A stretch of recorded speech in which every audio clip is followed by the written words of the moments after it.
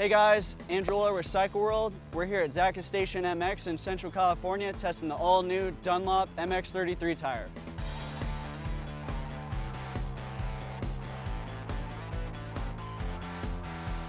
So Dunlop's goal with the new MX33 was to maintain the same traction capability that the former MX3S had while increasing the durability. And while I've only put about an hour and a half on the tires today, so far it's been holding up really well.